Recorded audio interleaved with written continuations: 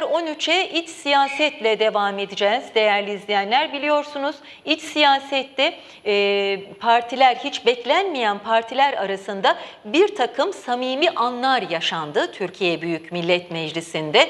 İşte e, biz de o anları zaman zaman ekranlarınıza taşımıştık. Neydi o anlar? Milliyetçi Hareket Partisi Genel Başkanı e, Devlet Bahçeli'nin DEM Parti grubunun bulunduğu masaya kadar giderek salonda Türkiye Büyük Millet Meclisi Genel Kurulu salonunda e, kendileriyle el sıkışması, hal hatır sorulmasıydı.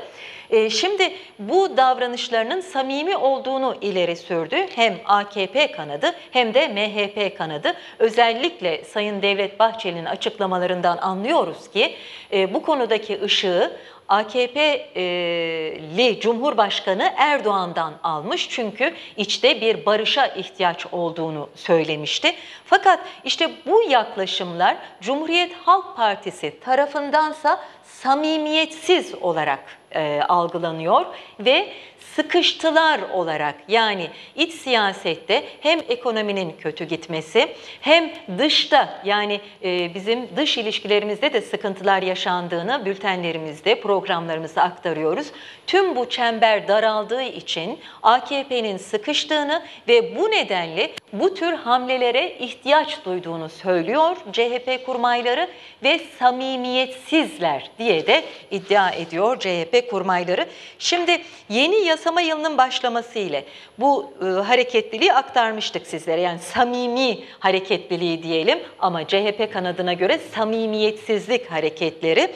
İşte iktidar kanadı yeni bir çözüm arayışında mı başlığını da getiriyor bu söz. Neden bahsediyoruz? Çünkü geçtiğimiz dönemlerde AKP'nin Kürt açılımı vardı biliyorsunuz. Acaba yine bu çözüm arayışına giden bir yolun taşları mı döşeniyor sorusunu getiriyor akla. Bu samimi görüntüler deniyor. CHP'li kurmaylar AKP MHP'den gelen bu adam adımların samimiyetsiz olduğunu vurgulayarak yaşadıkları sıkışma nedeniyle bu hamleleri yaptığını söylüyor. Oysa DEM Parti kanadıysa farklı yaklaşıyor olaya. DEM Parti'nin önde gelen isimlerinden Mardin Büyükşehir Belediyesi Başkanı Ahmet Türkse bu temasları ne değersiz görelim ne de abartalım. Kürtler sorunun silahla çözülmeyeceğini anlamaya başladı diyor.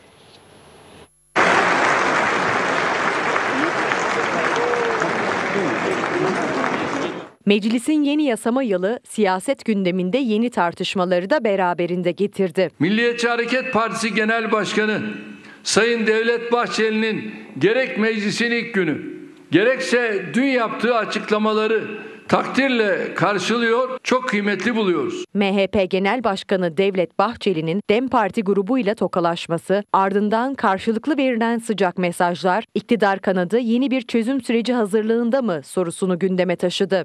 Uzattığım el ilk meclisin ve Sayın Cumhurbaşkanımızın isabetli sözlerinin meşale gibi yanan aydınlığıdır. Sayın Bahçeli'nin gelmesi de gayet normaldi. Anormal bir durum yoktu. DEM Partili yetkililer Erdoğan'ın da desteklediği ve Bahçeli'den gelen bu adımı kıymetli bulduğunu söylüyor. Gelişi güzel, keyfe keder, can sıkıntısından, anlık dürtülerle dümenden ve düzenden el uzatmayız. AKP ve MHP'nin strateji değişikliği CHP'de ise muhalefete kıskaç hamlesi olarak nitelendiriliyor. CHP kurmayları iktidar elini her zaman kendi çıkarı için uzatır. Burada da yine ülke için değil, dış ve iç siyasette yaşadıkları sıkışmaya karşı çıkar amaçla bir çaba içinde olduklarını görüyoruz yorumunu yapıyor.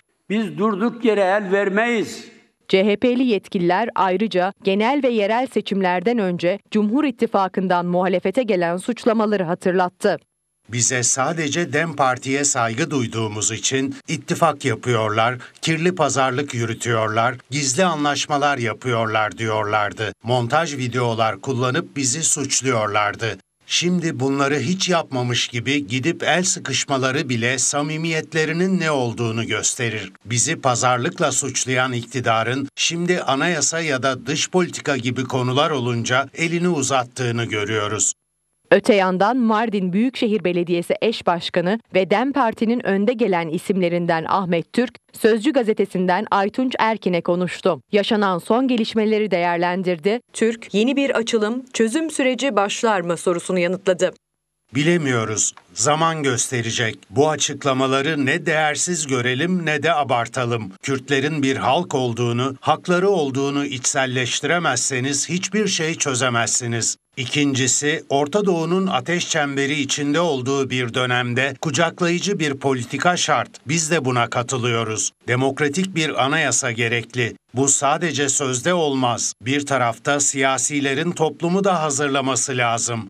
Toplumu medyasıyla hazırlayamazsınız, çözemezsiniz. Samimiyet testinden geçilmesi gerekiyor. Türk, AKP'li Cumhurbaşkanı Erdoğan ile de görüşebileceklerini ve halkın yararına olan her konuda diyalog kurabileceklerini vurguladı. Siyasetçilerin birbirleriyle sohbet edeceği bir ortamın olması değerli. Kürtler de bu işin silahla çözülemeyeceğini görmeye başladı. Atılacak doğru adımlar sonucunda sıkıntı da olmaz.